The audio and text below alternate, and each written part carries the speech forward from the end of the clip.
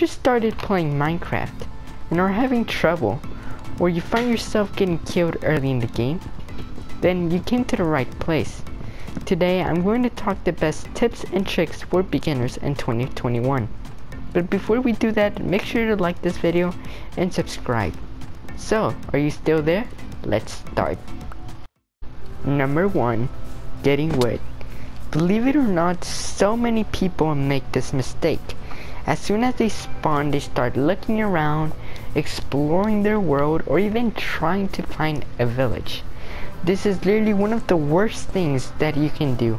The first thing you should do as soon as you spawn in Minecraft is to find wood for yourself. Try to at least get 20 wood logs and then convert them to planks. This is the first step and you should do nothing else and nothing of exploring. Number two is finding a cave. Many players try to find cobblestone by looking for a cave. That's an okay idea and I've done this several times before, but this is really unnecessary. There's really no need for you to go around your world trying to find a cave. And the reason that is, is because you can just simply dig underground. As soon as you get your wood and you make your crafting table and you get your pickaxe, the only thing you have to do is to look at the floor right to you and just start digging straight down. Well, not straight down, but I mean, you get it. Start lowering yourself down you're soon gonna start hitting cobblestone you start mining that and sometimes even down there you can find coal and sometimes even iron if you're really lucky or depending on your spot so this is literally one of the best and most fastest ways that you can get cobblestone and this can make your quick your day to do your things really really quick and without problem Number 3. Upgrading tools. As soon as you get the chance to get cobblestone or iron, the things that you should be making is to upgrade your tools, especially your pickaxe, since your pickaxe is one of the most important tools in the game.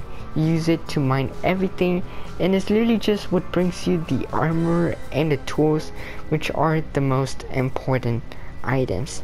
This is a mistake a lot of players make because they always try to, to waste their wooden pickaxe or if they have a cobblestone pickaxe they try to use it all up before using their new ones and this is really just a big mistake. As soon as you get the necessary tools to upgrade them I mean the necessary materials, you should totally upgrade your tools because it's gonna save you so much time and it's gonna make mining, uh, getting wood, and getting other stuff so much faster and way more efficient and it's gonna get you farther into the game. If possible by the first day you can already have an iron pickaxe and in some cases even an iron pickaxe and even an iron those things that you use to cut wood and I think I forgot the name. Uh, but yeah still always try to upgrade your tools as soon as get your raw materials.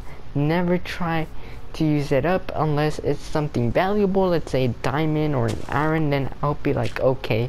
But if you have a little crappy wooden pickaxe or a crappy wooden uh, a crappy cobblestone pickaxe then shouldn't really just you know just mind them. Like just throw them away and get your new stuff.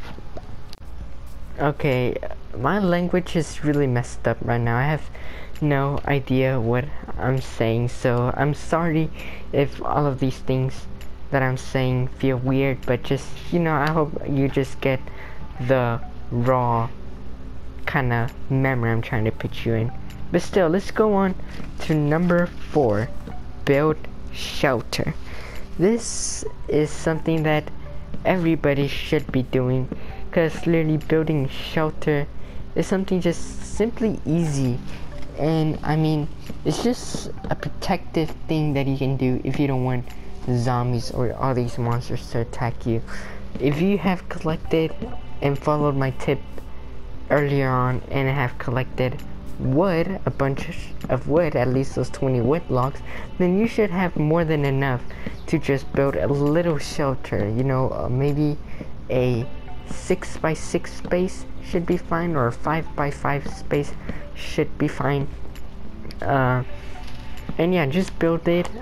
Just put some torches on it with the coal that you can find. Uh, get a chest, which it can easily be accessed using wood, put a furnace and just put your crafting table down. Just those three things you need and it's gonna be simple and easy to just take your shelter to the next level. Finally tip number five and I think this time I got it. It was tip all the time. I don't know why I was saying steps. I'm just still in the thought of building tutorials but finally tip number five is called mine it. This is just something pretty simple, but as soon as you do your shelter, you're probably not gonna have the time to make a bed. But even if you don't have the time to make a bed, it's really good because instead of you just waiting until the sun rises up and getting a snack and eating, you should do something productive in your Minecraft world, of course. And the best thing that you can do is literally just mine it down. Just find a spot and just start digging down, not straight down, remember. And yeah, just kind of go, try to find a cave if you can under your base and just try to find more coal, more get more cobblestone, get more iron. You know, you want at least by the second day to have more than enough resources to go on and make your second day better and yeah I think this last tip very efficient tip for your first day and these are five great tips you should follow. But before I end this video, and I, I didn't set this, I'm gonna give you some bonus tips for your second and your third day. So if you're ready, let's hop in on those. Alright, so let's go on with the bonus tips. First of all, make a bed. Pretty easy. This should be a tip from the second day. Find three sheep, three sheep, and kill them, you know, just simply kill them. Alright, and yeah. Now here's another efficient tip that can help you save tools, eh, I mean not tools, but materials, and that is that don't rush to make out a sword. If you have a you know, I know in the morning we said that as soon as you get raw materials you should upgrade your materials. But I was more specifying that for your pickaxe or the th the thing that your axe. I finally got it your axe. But when it comes to sword there is really no need to rush in for the materials. And the reason is that your pickaxe or your axe can make great deals of damage right? You can just simply use them to kill yes I know a sword just feels more comfortable and makes you feel more like a warrior but it's not a big need. So if you don't feel like you don't need a sword then don't use a sword you know just use your pickaxe or your axe. And yeah you know that's that's it. Number three is that you shouldn't go out exploring until you have enough materials once you have enough iron, once you have enough food that can get you around an entire day and night, you should feel comfortable going explore, right? If you don't have those things, then do not even try to get out of your area because you don't know what's over there, you don't know what's unknown, and if there is something looks cool and you want to explore but you don't have the materials, then that just means you're gonna die and you know, we don't really want that. You don't really want that. And so, yeah. So I think those are all the tips, the bonus tips, and those that's the end of the video. So thank you guys so much for watching. I hope you enjoyed this video. Make sure to like it, make sure to subscribe if you want to learn how to build stuff, more tips and tricks as well as fun challenges videos and we'll see you at the next time. Goodbye.